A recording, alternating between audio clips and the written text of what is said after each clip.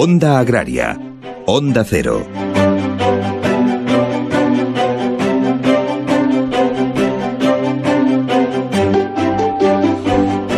Pues hoy nuestra sección de actualidad se la dedicamos al sector pesquero. La verdad es que 2021 ha empezado muy movidito para todos, pero concretamente para el sector pesquero más todavía como consecuencia en parte también a ese acuerdo alcanzado casi sobre la campana del Brexit que bueno pues mm, seguramente el sector pesquero ha sido uno de los más afectados o de los que bueno pues eh, en principio vayan más, más mm, comprometidos sus, sus intereses.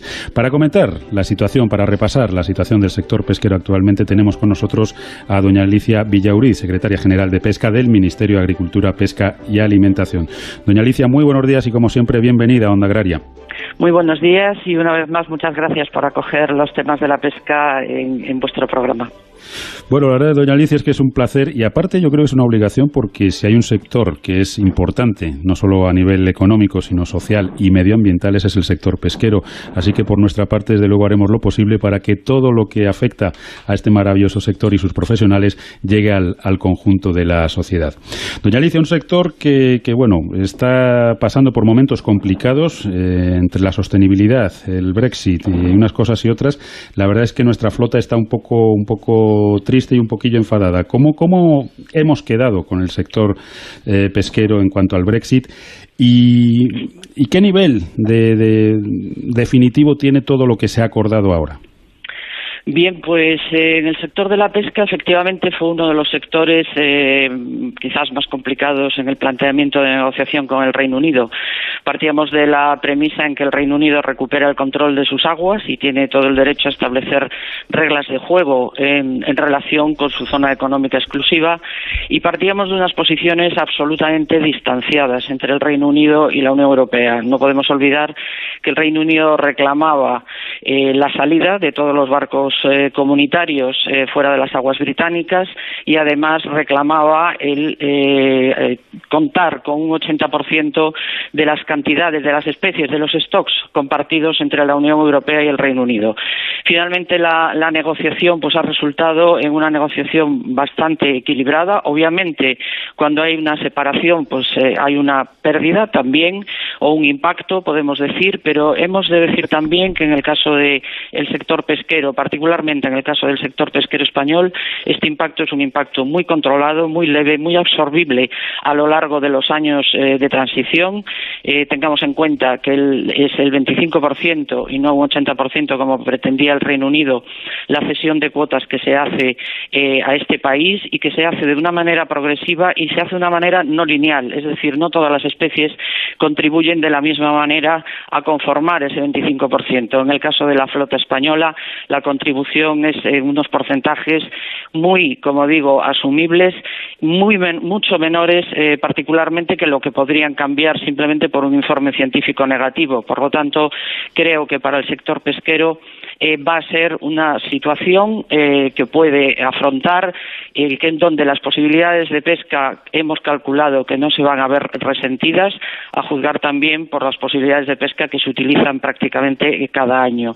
Por lo tanto, y, además un aspecto, un segundo aspecto muy importante, el acceso a las aguas británicas está eh, garantizado en su totalidad. Este es un aspecto muy importante que de no haber sido así, pues hubiese desequilibrado muchísimo la posición dentro de, la, los Estados miembros dentro de la, de la Unión Europea. Y por lo tanto creo que el acuerdo, como digo, es un acuerdo asumible, equilibrado progresivo en el tiempo y que, a pesar de lo que se ha dicho, ofrece garantías suficientes para dar continuidad en el futuro. El, el 25% que se cede en especies al Reino Unido no va a ir más allá una vez que lleguemos a 2026 y el acceso a aguas, que será lo que se negocie a partir de entonces, está condicionado también a numerosas ventajas que el Reino Unido mantiene después del Brexit en lo que se refiere al acceso al mercado comunitario. Por tanto, yo diría también que obviamente eh, dentro de seis años pues tendremos que seguir negociando con el Reino Unido, pero de una manera en la que también tenemos nuestras bases en la manga. Doña Alicia, ¿qué tal? Muy buenos días. Muy buenos días. Yo le quería preguntar, a nivel, de, a nivel de, Unión Europea, ¿España es uno de los países en los que ha tenido más impacto esta negociación en el sector pesquero con Reino Unido por nuestra, bueno, por la importancia que tiene para nosotros ese sector? No sé si en otros países, pues claro, lo han sufrido menos.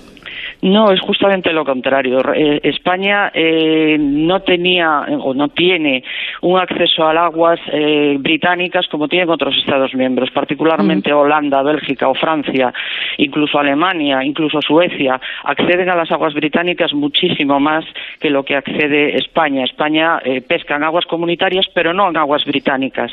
Y las especies, como decía antes, que se han cedido en ese 25%, pues no incluyen en una proporción elevada los stocks que a nosotros nos interesan. Los stocks que a nosotros nos interesan a la flota española en aguas británicas son particularmente, no solo, pero principalmente la merluza norte, el rape y el gallo. Y esas especies pues contribuyen poco a esa cesta del 25%.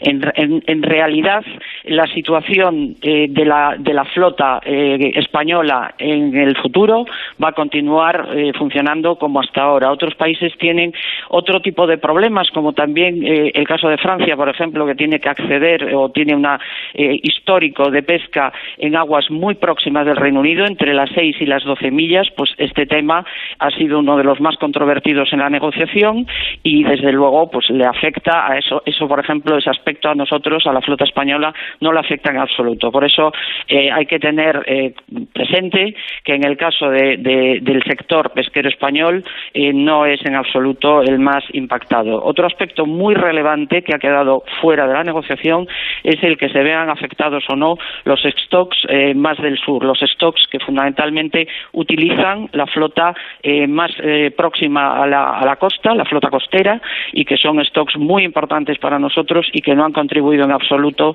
al 25% de especies que se ha cedido al Reino Unido. Por eso puedo decir que el acuerdo es un acuerdo muy equilibrado en general y particularmente para España un acuerdo asumible. Bueno, seguro, seguro que, el Brexit sigue dando vueltas, ya están los británicos pidiendo prórrogas y moratorias para determinados acuerdos como consecuencia de la situación que se ha creado con sus propios ciudadanos, que, era, era de esperar. Doña Alicia, otra de las cuestiones que preocupa es el aprovechamiento en el mar Mediterráneo, esas decisiones, esas propuestas de la Comisión Europea. ¿Cómo está la situación y cómo va a afectar a nuestra flota?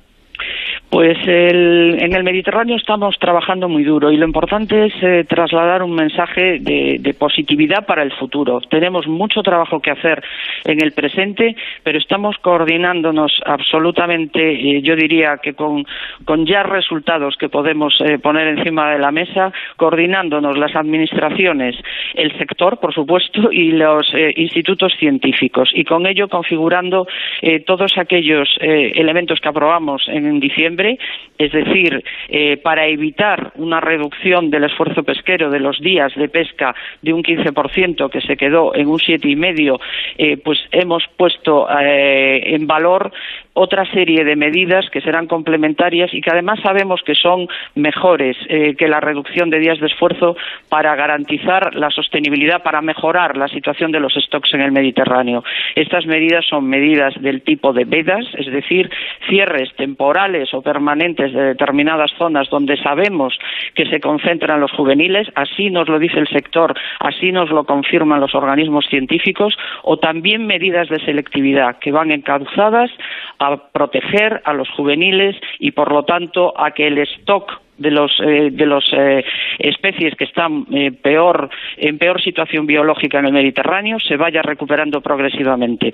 Pues bien, estamos definiendo esas zonas de veda, estamos definiendo esas medidas técnicas en selectividad conjuntamente organismos científicos, sector y administraciones para presentar a la Comisión en el calendario acordado eh, todas aquellas medidas de puesta en práctica este año que nos permitan, como digo, avanzar en ese sentido. Yo creo que todos estamos preocupados, pero con ilusión y, sobre todo, con unas eh, medidas eh, claras que tenemos, que hemos interiorizado, que tenemos que poner en marcha y que son las medidas, además, más adecuadas. Así nos lo dice la ciencia, así nos lo dice el sector para mejorar esa situación de los stocks y dar un futuro claro a todas las pesquerías en el Mediterráneo.